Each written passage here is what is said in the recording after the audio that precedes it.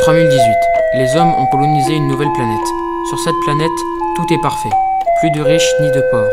Pas de guerre et une végétation luxuriante. Les girafes miaulent et les chiens parlent. Les hommes vivent heureux sur cette planète Providence, qui attire de plus en plus de monde. Un homme, Momo, se rend compte que les ressources s'épuisent. Momo revient dans la cité pour prévenir la population. Les habitants se regroupent autour de lui, et Momo annonce le danger, le risque de pénurie imminente. Deux groupes s'opposent. La guerre éclate.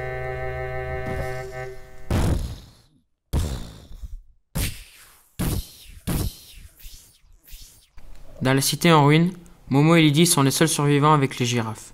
Girafes qui ont le don de se téléporter. Ils se rendent en 2018.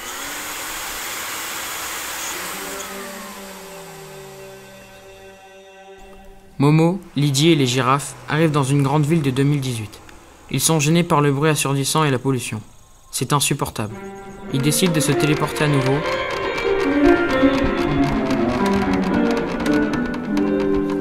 Mais les girafes meurent.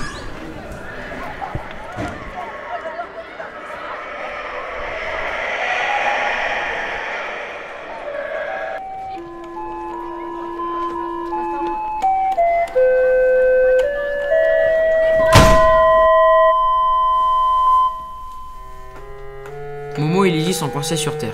Ils rencontrent un savant fou qui les mène vers un portail mystérieux. Ils pensent entrer en 3018, mais...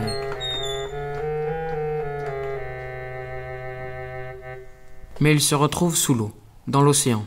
Momo et Lydie se rendent compte qu'ils peuvent respirer. Ils découvrent un monde aquatique habité de créatures fantastiques, les girafes. Amoureux, ils ne voient pas le danger arriver. C'est alors qu'un filet de pêche les attrape. Momo et Lydie, pourtant bien dans la réalité, se retrouvent enfermés dans un jeu vidéo dont ils sont les héros. Aux manettes, un gamer remonte à la surface et les pose sur une île tropicale. Ils se croient sauvés, mais arrivent trois créatures maléfiques. Momo et Lydie se rendent compte qu'ils doivent tuer les créatures maléfiques pour gagner le niveau et sortir du jeu. Ils y parviennent et en récompense obtiennent deux girafes à téléportation. Ils décident de se rendre en 3017, soit un an avant le chaos.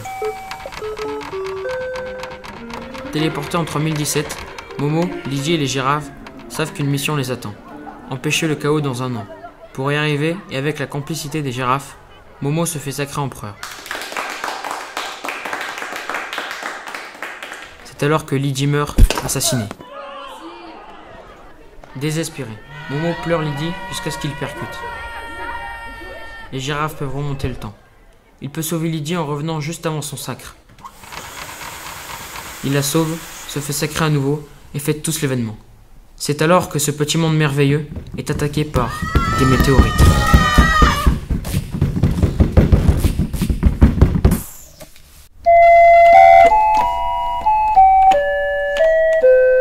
Dans mon quartier, je suis bloqué. Du mal à résister, les petits se font remarquer. Envie de me barrer, de quitter cette vieille cité.